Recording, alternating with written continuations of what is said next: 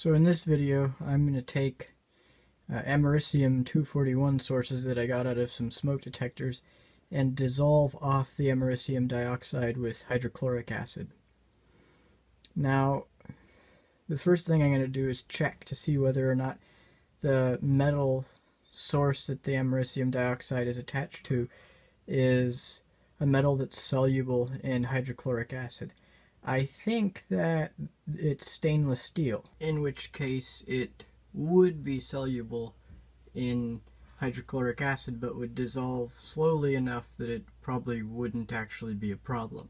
It, however, also could be aluminum, in which case it would be really soluble in the hydrochloric acid and would probably dissolve quickly enough that I couldn't realistically expect to remove the americium from the source without dissolving so much of it that it wouldn't really be a very useful process. And I will expose a, a little bit of the metal, uh, the back of it, to some hydrochloric acid. You can see the acid there. I haven't gotten the americium sources out. And if it doesn't dissolve, then I will soak them in concentrated hydrochloric acid and then take the sources out and let the solution evaporate and then look for activity uh, in the bottom of the test tube after the water is evaporated. And um, I'm also going to look for residual activity on the sources after the americium has been dissolved off.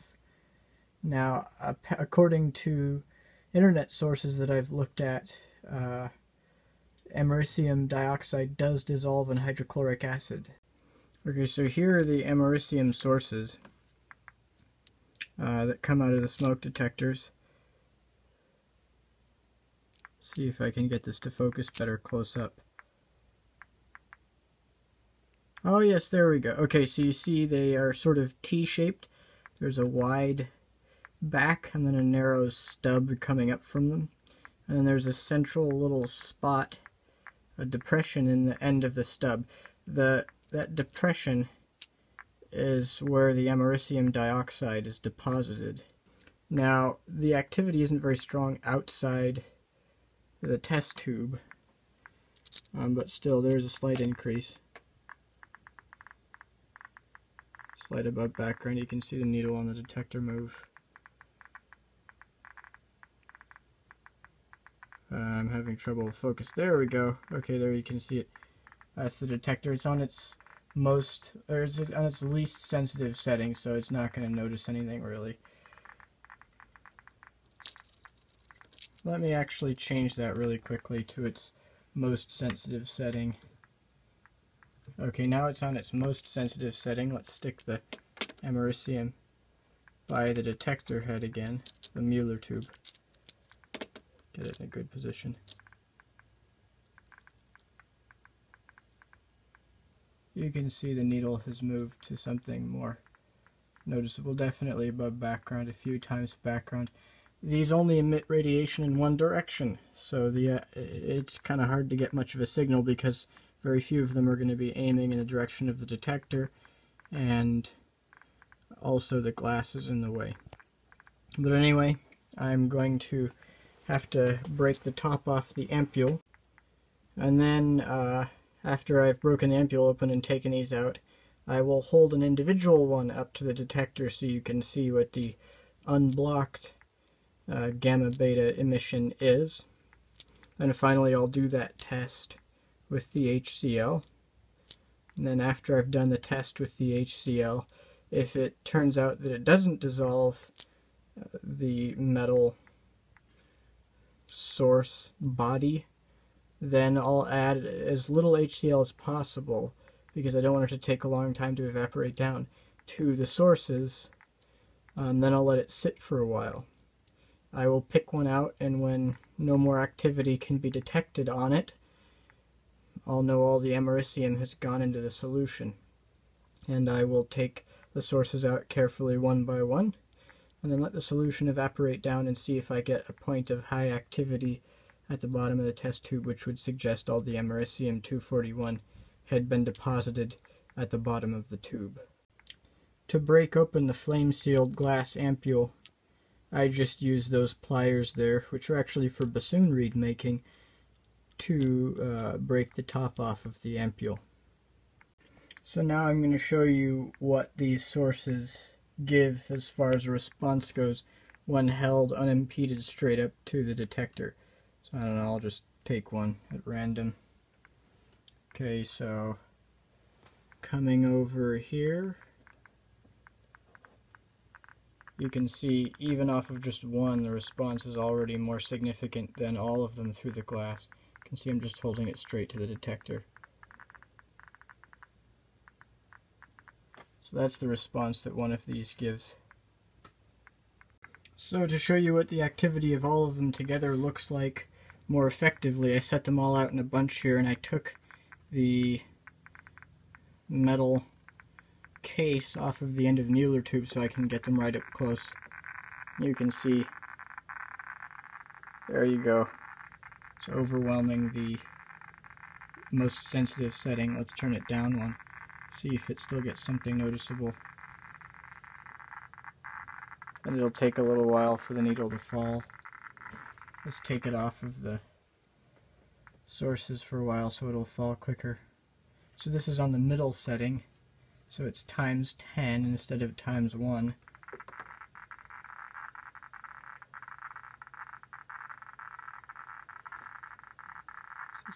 Oh, it's pushing it all the way up even on the times 10 setting. Let's turn it down to the times 100 sensitivity.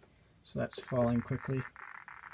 Now let's see what that gets to on the times 100. The cord's in the way, but it's at the 0.1 milliröntgens per hour mark, uh, which is like the 50 counts per minute mark. So times 100, that's um,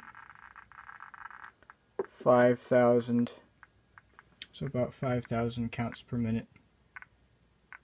Okay, so now I'm going to test to make sure that the body of the source won't dissolve in the hydrochloric acid. I've got 37% concentrated hydrochloric acid there, and I'm going to get a little drop of the acid on that plastic bottle cap.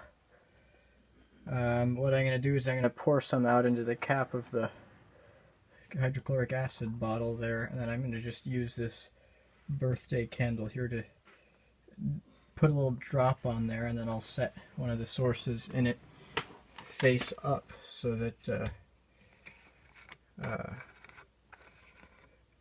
I don't dissolve any of the americium off prematurely.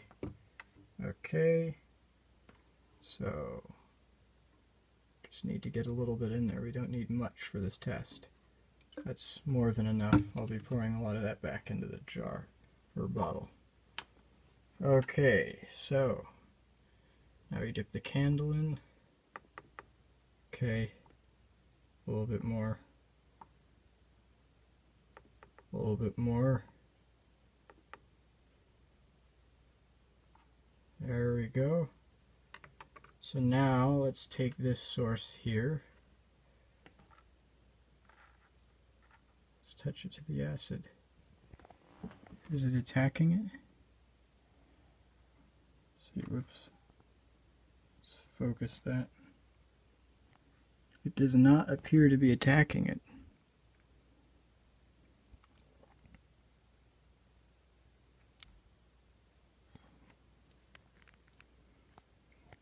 It's fuming slightly.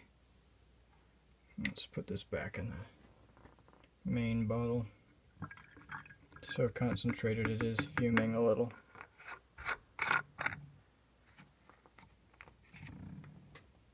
Okay. So that's where it's at now. Let's just focus that so you can see it better. It might be attacking the metal a little bit. That could be tolerable though, if it's not attacking it very much. It dissolves off the... Uh, it is attacking it a little bit, yeah.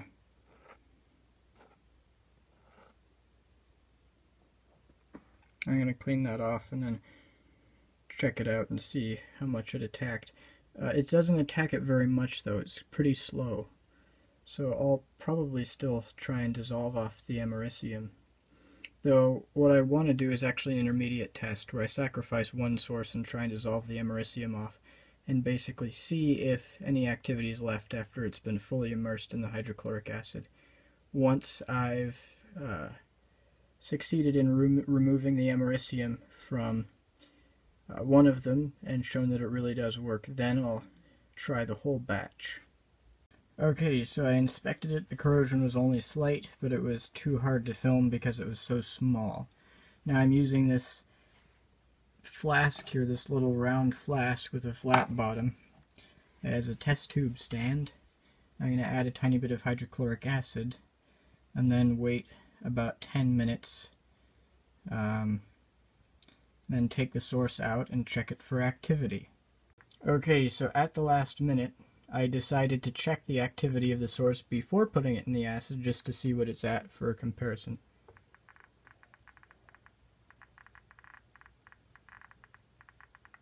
So that's the activity of the americium source before treatment with acid. We'll see what it is after. So I took the source out, rinsed it off, dried it off, and looked for activity. The activity was exactly the same as it was initially after like 20 minutes. It was still around uh, 1.1 milliroentgens per hour, so something like 600 counts per minute or something like that. And after an hour and a half, I pulled it out again, and it still hadn't dropped at all. Um, I'm going to leave it in overnight, and we'll see what happens. My guess, though, is it won't dissolve off. So first, the green color seems to be from the fact that while the americium isn't dissolving off, the uh, metal case is. And I think that's like dissolved iron or something, or nickel or something in solution. I'm not sure what, but some probably first row transition metal in solution. Uh, I think the americium is actually under an extremely thin layer of gold, and that's what's keeping it from dissolving. I mean, I'll just let it sit in there overnight, but I'm probably not going to try it with those because I think that it's just not going to be that easy to remove the americium from these sources. Oh well, I mean, at least I learned something about the structure of these sources. It's kind of interesting. It's not the result that I wanted, but still kind of an interesting piece of information. Okay, so here is the source. It's a new day. I left it in the solution overnight, and it clearly dissolved off a lot of the metal exterior because it's that green color. I'm not sure what metal that is. Some first row transition metal.